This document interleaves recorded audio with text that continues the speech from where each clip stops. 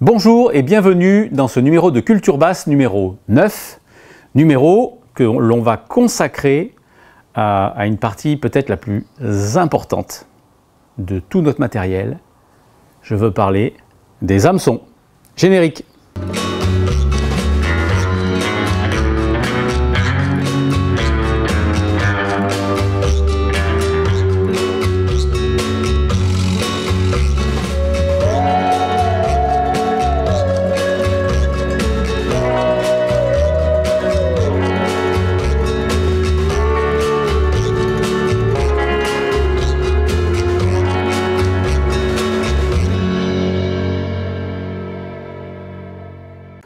Pour aborder ce sujet correctement, il faudrait quasiment écrire un livre entier. Alors on va pas faire ça, hein, c'est pas du tout le format.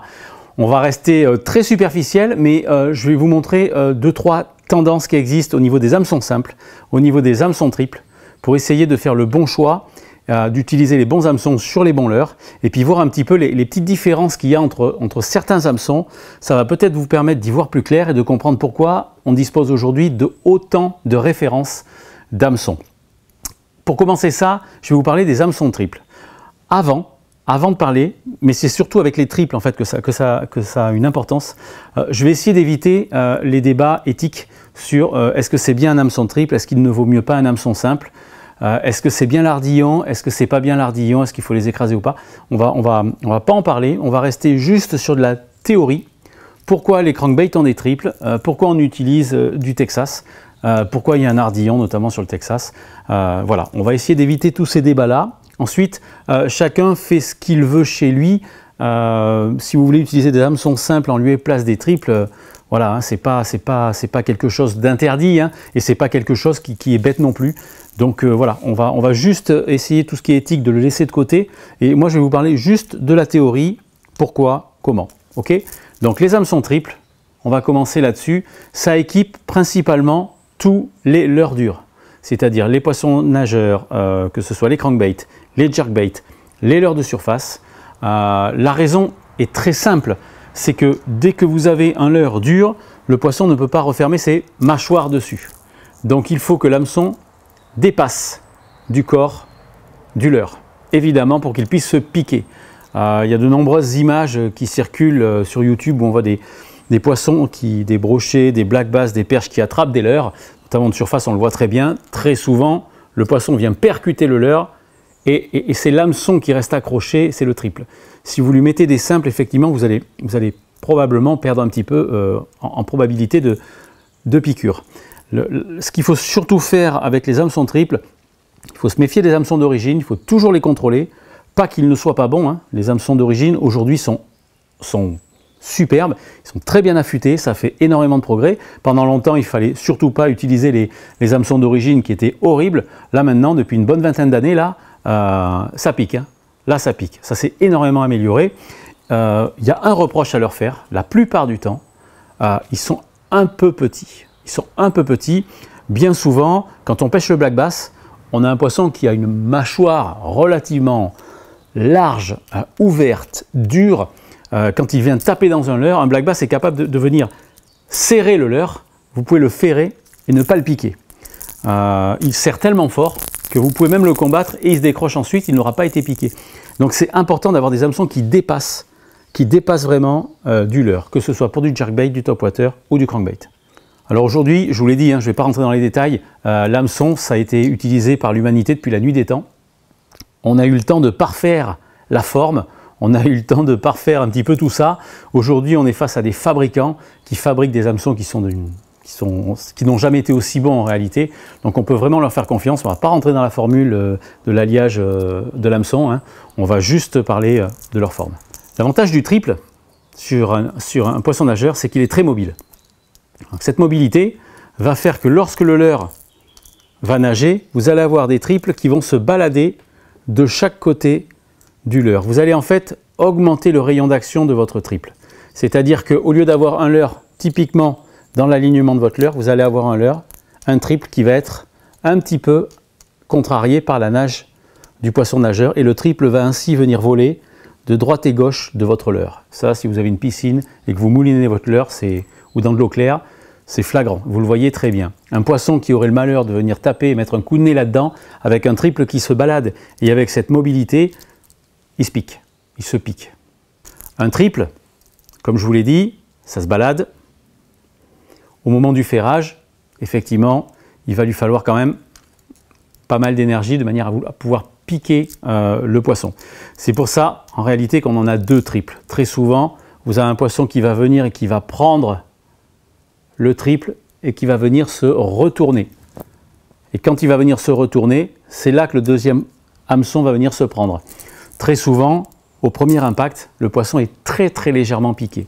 C'est vraiment avec la pression de la canne et lorsqu'il se retourne que évidemment le deuxième triple rentre et en se secouant un petit peu la bouche, il va euh, permettre de rentrer les ardillons.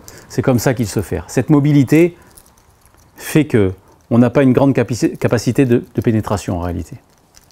Aujourd'hui, la tendance, euh, si vous voulez changer vos triples, c'est d'aller utiliser euh, ces formes-là. C'est-à-dire, on a des triples aujourd'hui de plus en plus, on se rend compte, là notamment chez les pros américains, c'est une tendance qui est là depuis une petite dizaine d'années, là, de diminuer la hauteur de la hampe de manière à économiser du poids sur le leurre, sur le triple.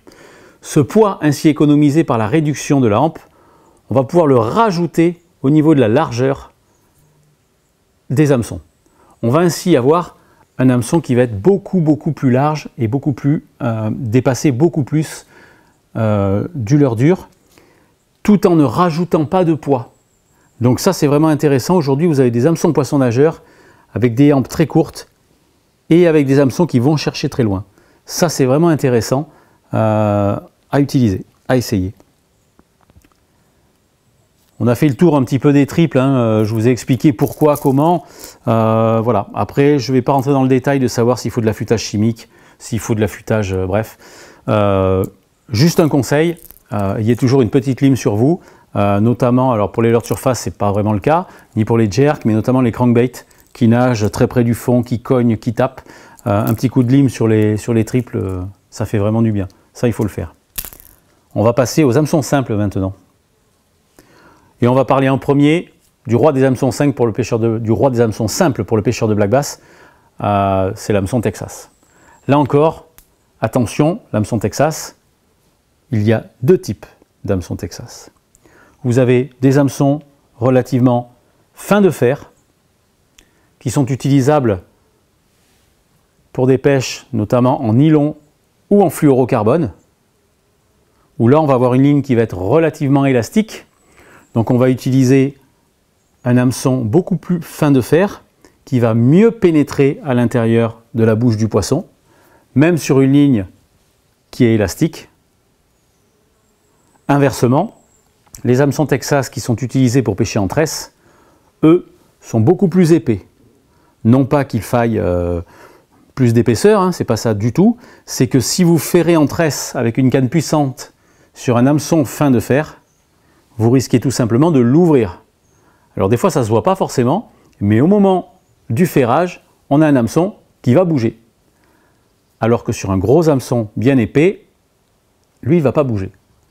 Donc attention, c'est notamment écrit hein, sur, les, sur les paquets, il faut bien faire attention entre des hameçons fins de fer utilisables en fluorocarbone ou en nylon, et des hameçons forts de fer qui sont faits pour être utilisés, notamment très près de la végétation ou dans la végétation, avec de la grosse tresse. Vous avez aussi certains hameçons spéciaux. Vous allez avoir des hameçons, des trailers, pour aller mettre derrière les spinnerbaits. Encore une fois, quand on pêche au spinnerbait ou au bladed jig, on est plutôt en fluorocarbone, donc on va avoir un trailer hook qui ne sera pas forcément très épais, hein, il sera plutôt relativement fin d'ailleurs. Vous allez avoir des hameçons punching, très peu utilisés en France, très peu utilisés en France, pardonnez-moi.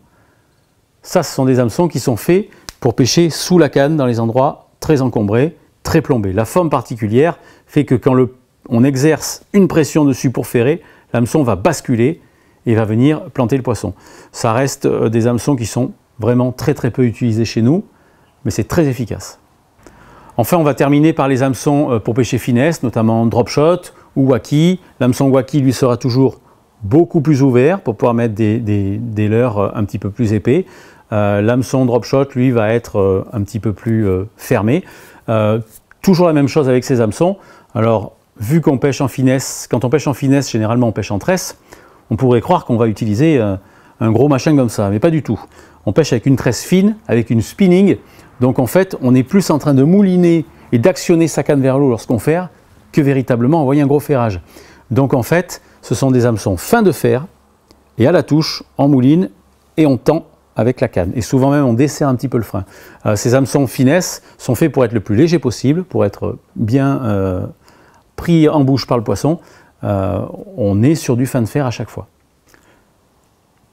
Je vais revenir sur mon fameux ardillon. Si dans le cas d'un triple, un ardillon peut faire office de, pour éviter que le poisson ne se décroche lorsqu'il secoue la tête ou lorsqu'il sort de l'eau, pour mieux retenir le, leurre en bouche, euh, sur l'hameçon Texas, il a une vertu fondamentale supplémentaire qui est de maintenir le leurre dans l'axe de l'hameçon. L'ardillon va avoir cette fonction-là, c'est-à-dire d'empêcher l'anti-retour de l'hameçon.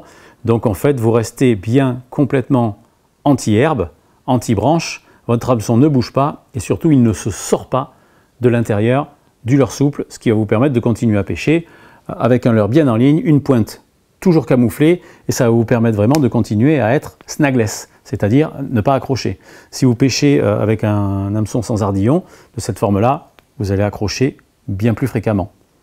Alors aujourd'hui, vous allez trouver euh, tout un tas d'hameçons euh, chez un peu tout le monde. Hein. Vous avez la plupart des fabricants, vous avez euh, BKK, vous avez Gamakatsu, vous avez le français VMC, vous avez Honor. il y a tout un tas d'hameçons aujourd'hui sur le marché. Fox Rage vient de sortir aussi une gamme qui est assez intéressante, qu'il faut essayer. aujourd'hui, la plupart des hameçons, comme je vous l'ai dit tout à l'heure, ont fait énormément de progrès. ils sont très piquants, le métal est très bon. Aujourd'hui, c'est difficile euh, d'aller dire euh, j'ai décroché un poisson ou j'ai cassé mon hameçon ou l'hameçon s'est ouvert euh, et incriminer l'hameçon. Il faut savoir qu'aujourd'hui, la plupart des hameçons sont quand même, mis à part ceux que vous allez acheter sur, sur des sites chinois dont je tairai le nom, mais mis à part des choses qu'on ne contrôle pas trop aujourd'hui, la plupart des fabricants font des bons hameçons. Et c'est difficile d'aller dire aujourd'hui c'est la faute de mon hameçon. Hein. Quand un hameçon s'ouvre, quand on un hameçon casse, quand on décroche, c'est la plupart du temps la faute du pêcheur. Donc, utilisez les bons hameçons et vous n'aurez pas de surprise, de mauvaises surprises. L'autre conseil, c'est de toujours, toujours avoir une lime sur soi. Combien de pêcheurs, ici, là, ont toujours une lime dans son bateau ou dans sa poche Personne. Ça, avoir une lime, c'est obligatoire. Un hameçon, la pointe, aujourd'hui, elles sont tellement pointues, tellement fines, qu'elles peuvent s'émousser très rapidement, se tordre. Il faut toujours les remettre en ligne avec une lime. Ça, c'est le conseil numéro un, c'est avoir toujours une lime sur soi. En espérant que ce sujet vous a plu, donc rappelez-vous bien, les triples, les simples, les épaisseurs d'hameçon, les hampes courtes pour les triples. Voilà, il y a tout un tas de choses à essayer qui vont maximiser vos chances de succès. Euh, l'hameçon, c'est encore une fois le matériel le plus important de votre équipement. Donc attention, c'est pas très sexy de s'intéresser aux hameçons, mais vraiment, prêtez-y une grosse attention. Ce numéro est terminé. Si vous a plu, vous likez, vous n'hésitez pas, vous laissez un petit commentaire, euh, vous posez vos questions, j'essaierai de venir y répondre avec un peu de temps, mais généralement je réponds aux questions. Voilà, ce numéro est terminé, j'espère qu'il vous a plu et à très bientôt.